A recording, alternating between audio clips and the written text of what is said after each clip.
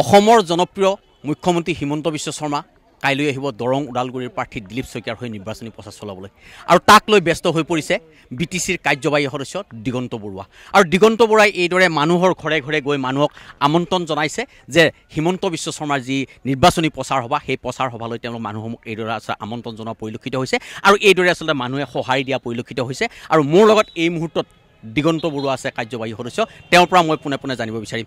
কি ক'ব? কেনেকুৱা প্ৰস্তুতি চলিছে? যিহেতু হিমন্ত বিশ্ব শৰ্মা কাইলৈ আহিব ওদালগুৰিলৈ।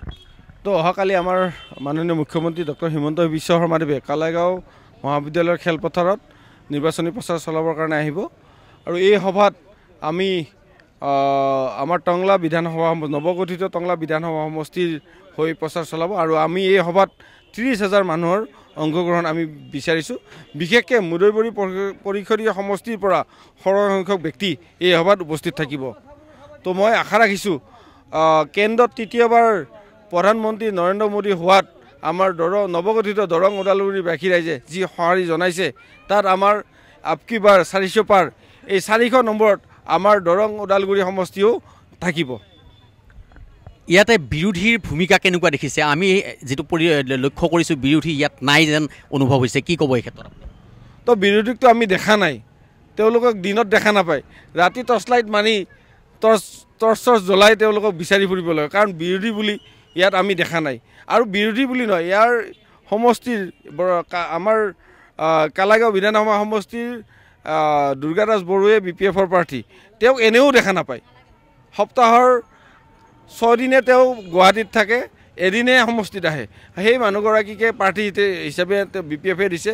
তেওঁকতো আমি এই বাকী কালাগাঁওবাসী ৰাইজে তেওঁকতো নিবিচাৰে আৰু। আৰু দুই নম্বৰ কথা কংগ্ৰেছৰ প্ৰাৰ্থী মাধৱ ৰাজবংশী ডেক তেওঁতো নিলে ইলেকশ্যন খেলে। তেওঁতো মানুহক সেৱা কৰিব নোৱাৰে। তেওঁতো এইটো এটা খেলা হিচাপে লৈছে।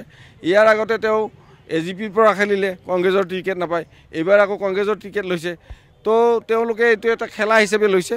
তো তেওঁলোকক ৰাইজে তো গ্ৰহণ কৰিব বুলি আমাৰ বিশ্বাস নহয়। দিলীপ শইকীয়া কিমানমান ভোটৰ ব্যৱধানত জয়ী হ'ব বুলি আপুনি ভাবে? তো আমাৰ প্ৰাৰ্থী দিলীপ শইকীয়া ডাঙৰীয়া চাৰি চাৰি লাখ ভোটৰ ব্যৱধানত জয়ী হ'ব। এই মুহূৰ্তত মোৰ লগত বি পি এফৰ পৰা বিজেপিত আপুনি যোগদান কৰিছে। কেনেকুৱা? যিহেতু আপুনি প্ৰচাৰত ব্যস্ত হৈ পৰিছে। হয় খুব ভাল। ৰাইজৰ সঁহাৰি খুব ভালেই পাইছোঁ। কাৰণ বি পি এফ দলৰ প্ৰাৰ্থীজনক আচলতে দেখা পোৱা নাযায় যাৰ পৰিণতিত আমাৰ কিছু সুবিধা হৈছে। কাৰণ আমি যে ফিল্ডত ঘূৰি আছোঁ আচলতে কোনো বিৰোধীক আমি ক'তো লগেই পোৱা নাই। আচলতে ক'ৰবাত যদি তেওঁলোকক পালোহেঁতেন তেতিয়াহ'লে বস্তুবিলাক ভালহেঁতেন ভাল লাগিলেহেঁতেন। কিন্তু নাই সুধা আমিয়ে যেন বল লৈ ফুৰিছোঁ আমাৰ পিছত আৰু কোনো বল মানে কাঢ়িবৰ কাৰণে কোনো নাই। তেনেকুৱা এটা পৰিৱেশ হৈছে খুব ভাল লাগিছে। হয় এটা কথা ক'ব লাগে যে এইদৰে আচলতে এইসকল লোকে যিহেতু মুখ্যমন্ত্ৰীৰ যি সভা সেই সভালৈ আচলতে মানুহৰ ঘৰে ঘৰে গৈ আমন্ত্ৰণ জনাইছে আৰু যিহেতু জনপ্ৰিয় মুখ্যমন্ত্ৰী হিমন্ত বিশ্ব শৰ্মা আহিব আৰু তাক লৈ আচলতে এইসকল লোক উৎসাহী হৈ পৰিছে আৰু এইদৰে বিজেপিৰ কাৰ্যবাহী সদস্যগৰাকীয়ে দিলীপ শইকীয়াৰ হৈ প্ৰচাৰ চলোৱাত ব্যস্ত হোৱা পৰিলক্ষিত হৈছে।